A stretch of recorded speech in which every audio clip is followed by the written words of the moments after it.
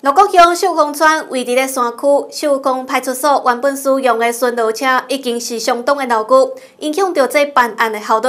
一间建设公司知影了后，来回馈地方协助警政工作，关进一台适合走山区的巡逻车，希望保障警察的执勤安全。秀峰派出所的巡逻车因为常常走山路，再加上已经使用真侪年，时常有维修的问题。但是，广府伫本地太华车辆的预算有限，要有诚心企业发挥爱心。反正几台西上车，和警察伫出外巡逻的时阵，会当更加有保障。大家都知道，秀峰派出所位处山区，啊，道路都比较崎岖。啊，原来的巡逻车是已经使用十余年，啊，里程数也将近二十余万公里。捐赠了这一部崭新的四轮传动的巡逻车，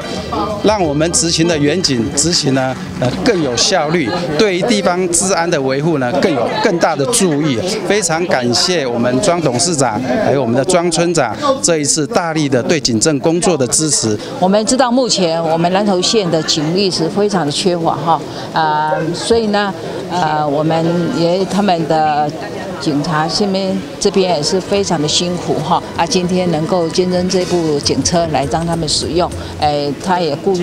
庄董也是顾虑到他们的身家的安全，哈，所以呢，很再次的感谢我们庄董事长。因为善心企业的庄文清当处长，伊的阿兄就是水电船长，知影公秀峰派出所有相关需求，就马上采购一台巡逻车，希望回馈地方以外，也发挥警民合作的力量。家兄他担任村长，因为我们这个车子哦已经老旧了，所以他提就跟我提议说，那是不是？来可以来，我们捐赠一台车子，让我们的这个警察同仁能够使用，也确保他们在执勤时的安全。啊，当然了，这个为我们的这个村里做事情，那为我们的警察同仁的这个安全的着想，这我是义不容辞。所以把这部车子在最短的时间里面来交给我们的这个警察同仁使用。第三分局嘛，回送感谢装，甲巡逻车模型，感谢诚心企业。相信有了这台全新的巡逻车，一定会提升执勤的效率，维护地方的治安甲交通，共同打造安全的家园。记者陈友差不多。